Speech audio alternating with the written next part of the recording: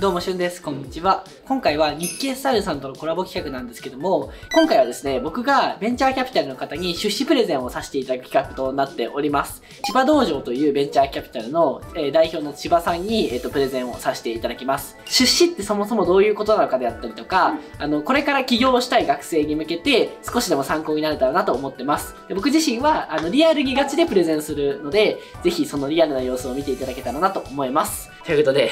頑張っていっていこうと思います。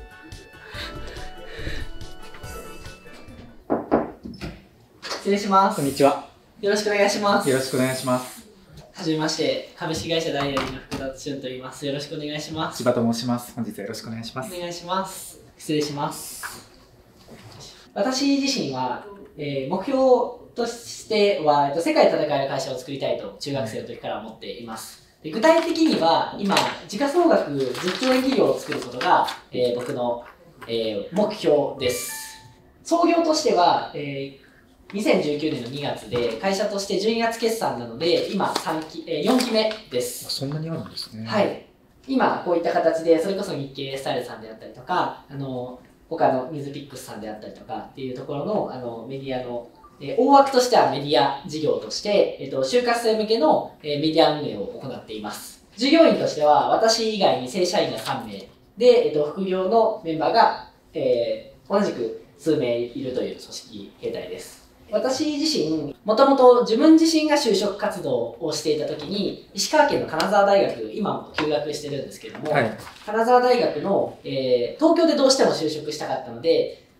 毎週のように夜行バスで東京の方に行ってたんですけども、そこのわざわざ、えー、行かなきゃいけないっていうところと、魅力あるけど知らない企業が世の中にたくさんあるけど、知らずに就職活動を終えていくという、えー、同世代の同じ大学の友達であったりとか、あとは自分自身が知らないことが多いなっていうのを強く実感したので、それを動画で魅力あるけど知られてない企業さんであったりとか、えー、情報を動画で伝えたいと思ったきっかけで、えー、就活の、えー、メディアを作りました。で、YouTube 自体はもう少しで、えっと、4年半経つんですけども、YouTube を個人でやってたんですけど、それを法人化したという形になっています。うん、具体的な今の事業内容としては、採用広報の費用を企業さんからいただいて動画を作るという、えー、事業と、他の、えー、企業さんの YouTube チャンネルの運用代行っていうところで、えー、春ダイアリーという、まあ、就活生向けの一つ目のあの YouTube タイアップの事業に関連して自社の、えっ、と、メディアを運営しています。そこは誰が見ているかっていう詳細な情報も見れるような形になっています。メインの事業の春ダイアリーという、えー、メディアの運営事業に関しては、えー、登録者数が今10万人いまして、で月間の PV が、えー、1500万ほど、えー、あります。大学生及び就活生の中で今日本で一番見られているメディアとなっています。で、今、実際に、えっ、と、他の企業チャンネルの運用もやってるんですけども、今、今日はあのメインに旬ダイアリーのご説明をできたらなと思っています。で我々の作りたい世界観としては、すべての人の才能が発揮される社会を作りたいなと思っています。で、まず最初のステップとして、若者の自分の才能に気づき、えー、人生を選択する機会として就職活動というものがあるとも考えているので、まずは就職活動、新卒採用市場を、えー、メインに行っています。就職活動において、自分の、えー、才能を知るためには、3つのステップが必要だと考えています。1つは自分のことを知るということと、仕事のことを知ること。で、最後に、あの、受かる方法を知るっていう、大きく3つの、えー、ステップが大事だと思っていまして、そこの、えー、自分のことを知る、仕事のことを知る、えー、受かる方法を知る3つのトピックに分けて、我々はコンテンツ配信を行っています。で、企業さんのメリットとしては、認知度を上げられるっていうところと、認知の深さを取ることができるというメリットがあります。具体的には、えー、自分、自社の企業の、まあ、名前であったりとか、エントリーがなかなか来ないという課題に対して、えー、就活、YouTube であったりとか、えー、我々のメディアを通じて認知度を広げられるっていうところ。それこそコロナ禍で、えー、実際の対面の OB 訪問ができなかったりとか、説明会に、えー、足を運ぶことがなかなかできないと思で、オフィスの様子であったりとか、あとは、社員さんのリアルなあの仕事を楽しんでいる様子が伝わりにくいというような課題感、内定承諾率が低いという課題に対して、動画を通じてリアルを伝えることで、内定承諾率であったりとか、企業の魅力づけを上げるという、えー、企業さんのメリットがあります。で、そこで今、えー、去年で言うと50社の企業さんと動画のタイアップをさせていただきました。えっ、と、実際に事例として、就活イベントの会社さんと、えー採用広報の企業さんに関しては、ホームページの次に、えー見られるコンテンツとして、えー上げられて、上げていただいたりとか、あとは、選考中に参考になったコンテンツ、就活生から見て参考になったコンテンツとして、ホームページの次に上げていただいたりしています。我々が行っていきたいこととしては、そういったあの若者の才能を発揮することで、まあ一人当たりの若者の生産性が上がると、日本の GDP が上がると思っているので、まずは若者に特化して事業を行っていこうと思っています。我々の今の強みが、若者向けに、いわゆる Z 世代と言われている、えー世代に向けて、Z 世代が運営するコンテンツであったりメディアを通じて、えー若者を元気にするということを行っています。で具体的なビジネスモデルとしては、えー動画を作って、えー制作して配信するという形と、実際にあの企業さんの広報を支援するという文脈で、企業さんの YouTube の運営をするという事業を行っています。で、えー会社として今4期目でして、で、1期目が、えー売上500万、で、2期目が1800万、で、3期目、去年が7400万、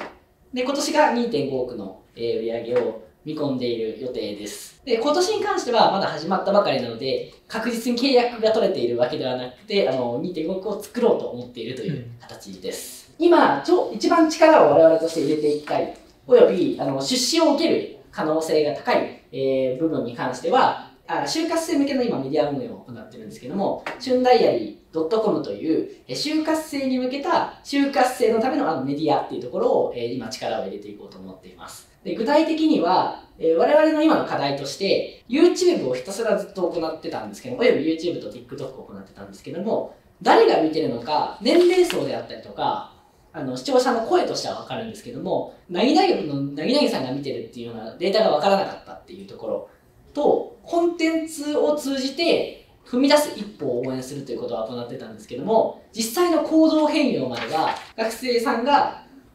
および自分が影響を及ぼしたい方が、どういう行動を経て、あのどういう企業に行くかであったりとか、どういうキャリアを歩むかっていうところが分からなかったっていうところにすごく課題感を感じて、実際に、えっと、リアルにやり取りできる、双方向にやり取りできる状況にしたいなと思ったのがきっかけで、えーサービスの方を作りました。で、これは、作りたい世界観としては、主体的に行動力、行動したりであったりとか、主体的に、えー物事を、え進める人が正当に評価される世界観を作りたいなと思っています。で具体的には、今の肩書きであったりとか、ではなくて、えー大学1年生からの成長率であったりとか、行動した量によって評価されるという世界観を作りたいなと思っています。今年の1月にリリースしまして、実際の登録は今9000人います。で、ここを、えっと、5万、今年中5万人にするというところと、就活生の中での動画で情報収集をするであったりとか、動画で就活のノウハウを吸収するというところの、ある種就活生にとってのインフラにしていきたいなと思っています。就活生って毎年入れ替わるんですけども、そこの、えー事業の展開として、直近の展開としては、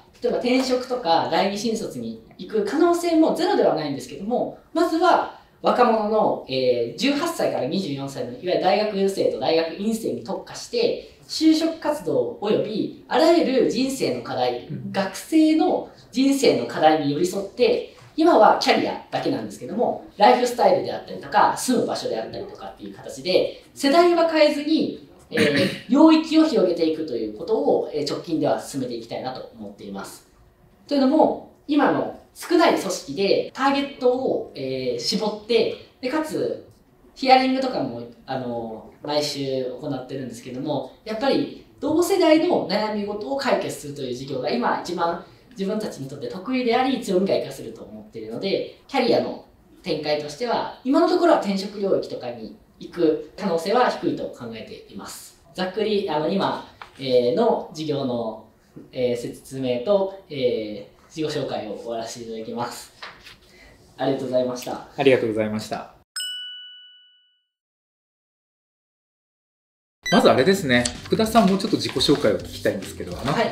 あなたは何者なんですかってはいいうところをちょっとちゃんと聞聞きたいです。はい。私のは何者かと言いますと、私は行動力があります。もともとすごい成功体験が昔からあるかというよりはどっちかというと後天的な努力で自分のできないところであったりとか弱みもある種さらけ出して成長していく人です。自分自身 YouTube を始めたきっかけももともと大学1年生の時にどうしても東京に行きたくて金沢大学に通いながら東京の大学を目指すという仮面浪人をしてたんですけども1年間本気で頑張ったんですけど失敗しちゃってで地方に残ることになったので大学とか場所にとらわれずできることないかなと思って YouTube を始めたという。本当はどこ行きたかったんですか？はえ早稲田大学に行きたかったです。挫折の経験であったりとかある種のコンプレックスであったりとかっていうところが最初のエネルギーの源泉でした、うん中学校の時から会社を作りたいであったりとか大きい会社を作りたいとは思ってたんですけどもそこも強烈な原体験があったかというよりは漠然と大きいことをしたいっていうところとそこまで裕福な家庭でもなかったのでハングリー精神があの幼少期に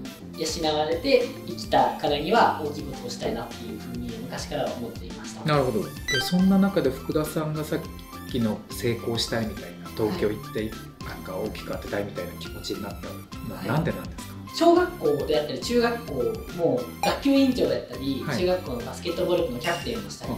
してたんですけども全国大会に行きたかったんですけど、うん、部活の顧問の先生がいなかったりとか、えー、して自分で本を読んだりとかビデオを海外から集めて勉強して全国大会を目指すっていうところを本気でやってたんですけども結果が出なかったんですよね。うん、で高校でもまあまあバスケットボールの強い高校に行って勉強も頑張りたいと思ってで勉強も頑張ったんですけど結論どっちもそんなにうまくいかなかったんですね、うん、そこの中でずっとモヤモヤした感覚があってその自分に対するモヤモヤであったりとか自己肯定感を高くしたい払拭したい過去の自分から脱却したいみたいな気持ちが強かったと思ってます。で高校の時に一番大きくなって仮面浪人という変な選択をしたっていう。うんなるほど、はい、今大学何年生ですか、えー、3年の終わりに休学をしましてはい。何歳ですか？今24です。あじゃあ3年生を3回やったってことですか、はい。最後30歳の時、はい、あと6年後どうなってたら福田さんにとって30歳の未来の自分に合格ですか、定性的には、はい、自分自身が周りの人および社会全世界に対しての自分が救いたいと思っている人に対して救える状態。具体的には自分自身は、まあ、その才能とかキャリアの選択っていうところの根本的な要因は行動のであったり体験の格差にあると思っているので世の中の体験格差をなくせている状態が達成できたらなと思っています。なるほど。じゃあ定量的には何を達成してたら自分の合格今の事業の規模でいうと特に30歳と日本の全大学生が使っているサービスを作るっていうところおよび同世代なので私自身が30歳になるので20代後半の同世代が使って人生が豊かになるサービスを作りたいなと思ってます。それって売上いくらですか？売上が、えー、今考えているのが時価総額1000億円を考えていますそうすると売上いくらぐらい？売上が、えっと、300億を想定しています。さっきのあのグラフだと間に合わないですよね。はい。全然。どうするんですか？今考えてるのは僕らと同じモデルで300億。時価総額で言ってるところとしては次元という会社が言っててでちょうど先週次元の平尾さんにお会いさせていただいて、うん、モデルとしてはあらゆるメディアというものを軸に生活に関連する事業を、えー、に広げていくという形、うんで、えっと、ポイントとしては就活している学生側と企業側の今軸足を学生側に置いてると思うんですが企業側がすごい弱みだなと思ってるのでそこの部分を学生側で尖り切ってキャッシュを作り他の企業を仲間にしていく買収であったり M&A も選択肢に入れながら大きくしていくというのが一つ。でもう一つがサービスでもう伸ばしきるっていうところが結構現実ラインだなとで今のこの潜在力はわからないんですけども一つのプロダクトで伸ばしきるっていうところを考えています。さっきの30歳の時に300億稼ぐっていうのは実現してほしいです。ただ今のやり方では絶対に不可能だと僕は思っで、はい、あの発想の転換だったりとかイノベーションが必要ですね。どうしても今のディスカ短いディスカッションですけど、はい、出てくるのが見えてる自分のこの生活の範囲でしか語っていないので、抜本的に何をされたいのかなっていうのはもっと自自問自答してもいいのかなって今日聞いて思いました。おっしゃる通り近視眼的なところで発明がないなと思ってるんですよね、うん、自分自身、あといろいろ手を広げるよりもう一つにリソースを集中しなきゃいけないなと思っってまして。でもやっぱ考えきれてないなっていうところがやっぱすごく反省点なんですけども、これはもう考えるきるしかないんですそうですね。めっちゃ浅いですね。真剣に考えてないんじゃないかなって思いました、やっぱりワンプロダクトで戦うべきで起業家の脳みそしか成長するエンジンがないわけですよ。はい、ということは起業家が100考えてたら100個に分散しちゃうんですよ。でもワンプロダクトだったらそのプロダクトが24時間ずっと考えてるわけじゃないですか。でそのプロダクトが伸びるための戦術戦略をひたすら毎日本当に365日24時間考えるとやっぱブラッシュアップされるんですよね。でもどんどんどんどんアイデアを思いついてこれもやったらいいんじゃないかあれもやったらいい。確かにやったら伸びると思います。ただそこそこにしかならない。下手すると数千万とか1億円のものが大量にあってなんとなく新卒という枠の中でお皿の上には乗っているけれども散らかった状態が永遠と広がっていっちゃうのでそれだと福田商店かなっていう感覚はありますよね。よくも悪くも。今我々が行っているその旬ダイリーチャンネルもそうなんですけど就活生向けの新卒市場1200億円の中の取り合いはいはい。はいでここでまず、えー、旬なりというプロダクトに全集中して期間を設定してやりきるという選択に関してどう思われます？か、いいと思いますよ。できれば3年ぐらいで50億円を達成してほしいですね、で100億は超えられないんじゃないかなと思っていて感覚的にですよ、はい、競争市場激しいので、うん、ここから3年ぐらいで50億円ぐらいの売り上げ、つまり市場のシェアでいうと4%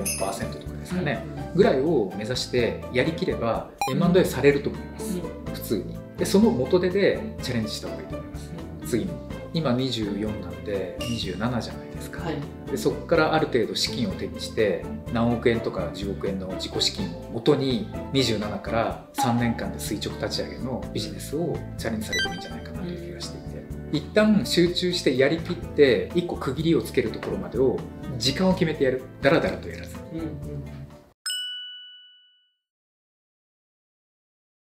最後に普段千葉さんのスタイルとしては、まあ、そもそも1回目で出資とかは決めないっていう話は前提としてあるんですけども、はい、また話を聞いてみたいと思ったか否かっていうところの札を上げていただいてもああなるほど。一旦今の時点で出資をする可能性があるかないかという切り口でいくと、はい、罰を上げさせていただきます。で理由は、出資されない方がいいんじゃないかなと思いました。なぜかというと多分キャッシュもあると思うんですよなので投資家のお金を入れるっていうことは自分の会社の一部分を出すことになっちゃうじゃないですか、はい、でさっきの僕の仮説でいくと3年ぐらいでやりきってどこかに仮に事業を売却しますっていうと機動力があった方がいいと思うので多分自己資金で十分できるんじゃないかなという気がしていて今期2億利上げ上がるんであれば結構利益率も出せるんじゃないかなと思うんですよ、はい、もう24なんで銀行の借り入れもそこそこ引っ張ってこれると思うのでこれだけキャッシュが待っていれば多分銀行の借り入れも含めて手元キャッシュもそこそこ残ると思うので、はい、